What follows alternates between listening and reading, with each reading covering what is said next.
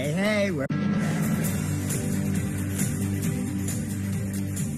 Hey, hey, we're back with another exciting installment of Grey's Anatomy Post Op. I'm your guy, Gordon James, and in today's two part episode, we're going to go behind the scenes and on the set of Grey's Anatomy. We'll be speaking with some of the people who literally build Grey's. Please welcome costume designer Mimi Melgaard and costume supervisor Thomas Houchins to the show. Hi, great to be here. So, why do you call this the Gold Room? This is where every all the magic happens in this room because all the outfits are put together, tagged, and gives the feel of the show. And it also has heads. Yes, I love those heads. You know, they're a little morbid, but they're fantastic works of art. I think they're just phenomenal. What is the costume process? Starts with the script. It's always story driven. You know, it's years we've known these people. And it's fun to watch that character grow and morph and grow up and become an adult and have children and uh, just the clothes do that grow along with them. How much laundry do you do? 200 sets of scrubs could go out and be laundered and back ready, fresh, pressed for when the crew comes in in the morning. How many types of scrubs do you have? Because I noticed when I was getting dressed for Nurse Gregory, I was in a specific color of scrubs. Yes. Very And I thought that was everybody's scrubs, but then I knew because I watched the show that there's brown scrubs, Yes. there's orange scrubs, there's pink scrubs. It's very easy for us to change the location of the hospital by shooting in the same hallway but changing the scrub color. And the walls are the same, but yet it feels completely different. So I hear you've pulled some fan favorites for us. We have. Can we walk over? Do you want to see see them?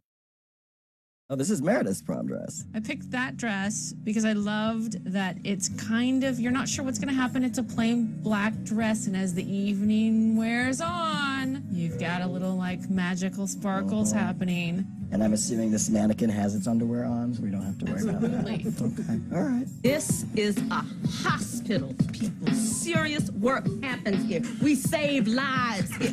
Oh, something funny? Whose are these? Ah, so I call this the Chasing Cars dress because it has the same effect on me as Chasing Cars does. This is the dress that made America cry. Shonda wrote the script. I shopped it, fit everyone. Shonda called and said, That's not quite the res- right dress for Izzy. I want something bigger. And then when I finally saw the episode where Izzy gets in bed with Denny and her dress envelops him, that's what Shonda saw, but I didn't know it yet. So then we go from proms to weddings. So this is April's dress, right? Yes. Tom, if you want to show the ketchup stain. Sure, if you remember the last time that we saw this dress, uh, April was going through an epic road trip where she dropped some french fries and some ketchup. And so we were able to come up with a quick fix of just an overlay Dried of paint. some ketchup. Wow. Magic of This is the television. magic. Movie magic. The wedding dress you're wearing is gorgeous. I know a cleaner who can get that stain out. Yeah, thank you, but I need a new dress. I'll see what I have in the back. Thank you. Thank you. So speaking of tricks, this is Cristina's dress. She was cut out of this dress. You know, wedding dresses have many, many layers, corsets, underlines, so it's really hard to cut through. So we rigged kind of a piece of fabric and silk behind there, so they were cutting that every time. Well, Mimi, Tom, thank you so much for letting us into your closet. Thank you for having We us. We loved It's a it. pleasure. We are in the props room of Grey's Anatomy, y'all, with the supervising producer, Linda Klein, and the props master, Ryan Blank. So you are actually both responsible for making sure what we see on our television is accurate. I have doctors and nurses who come in here and they go, This is better than our hospital because we do have the best of the best. You know, we have stuff that the hospitals don't have. And I've seen the actors actually doing stitches that are surgical that you've taught them. I did a scene with Kelly McCreary and she said, Oh, and they said, Oh, you did a perfect stitch. Oh, Linda taught me. It took me two hours at home to practice. Yeah, but there's good. specific things, especially in surgery, where you have to hold instruments correctly. Mm-hmm. And the minute I see somebody who doesn't, because I've taught them the way to do it, it's like, this is chopsticks, and this is, you know, if you don't use these two fingers, they'll know you're not a surgeon. That's not happening on this show. So we've had you grab some of the props from the prop room because look how real that is. So you have a professional company that makes this for you then, and you just tell them what you need and give them the specs, and they Yeah. come out with this kind of stuff. We do.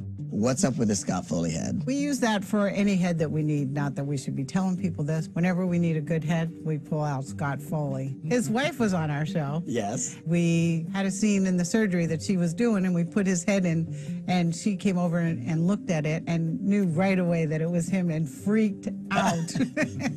but he has the best prop story we have ever. So you remember way back in season one when Izzy had to make cupcakes and had to fill the counters of Meredith's kitchen. And that was a week away in the schedule. I had plenty of time to get it, talk to the food stylist, all set up. Next Thursday, great. I get a call on a Tuesday night from my assistant. So the set's on fire. Sure enough, my phone rings. It's 1.15 in the morning. Uh, can we do the cupcake scene tomorrow morning? what time? 10 a.m. Jam my arm into the grocery store at 2 in the morning push the stock guy out of the way and proceed to shop as he's chasing me up and down the aisles. Because they were closing. They're closed.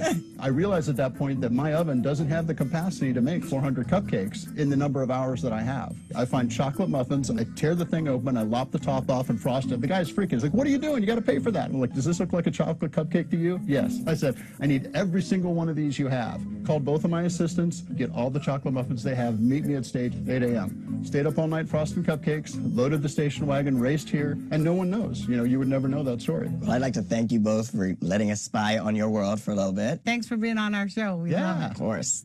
We're on the active set of Meredith Grey's house, also known as the Sister House. And we are here due to the kindness of this lovely woman here, the set decorator for Grey's Anatomy, Nicole Cramer.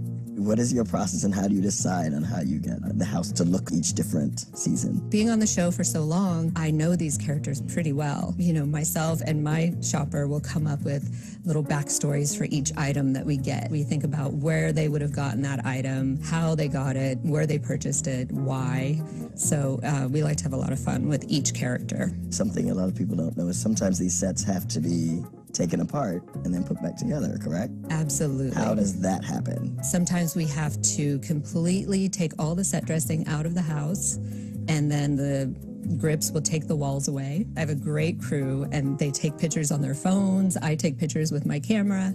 We, um, you know, download the pictures and we print them up, and we have those for the next time that the house goes back up. And you know, a lot of times I come in and I change things around, or you know, update certain things. So we get the impression that a life has happened in between. Yeah. I like to make it look like people actually live here and things change. So do the actors ever have any input? Yes, sometimes they do. Two seasons ago, when we moved back into the sister house, when all the sisters moved in, the first time you see Maggie's bedroom, it's pink and a little girly. After we shot that scene, Kelly McCreary approached me and we had a little chat about it. She felt like she would have more uh, medical books and just reading books and action figures and just a little bit more nerdy.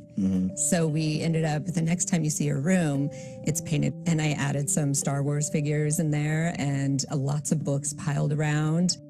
And um, then she was very happy. So do you have any favorite sets that you've decorated? Do you ever put a personal touch on the sets? Earlier in the seasons, I used to put pictures of my girlfriends and friends and my friends' kids behind the nurse stations. And so it was really cute. Every once in a while, I'd be like, You're on TV. We usually use mostly crew members. That- Awesome. So yeah. the crew gets to be on TV. We write their names on the um, on the uh, boards, the whiteboards too, behind nurse stations. Most recently, I love doing the Jolex loft. And Jolex, as you know, is Alex and Jo. I was able to put a lot of my own personal touches in that uh, set, so a lot of my own aesthetic is in that. Thank you so much for taking the time out of your busy schedule because we can tell it's very busy. You're welcome.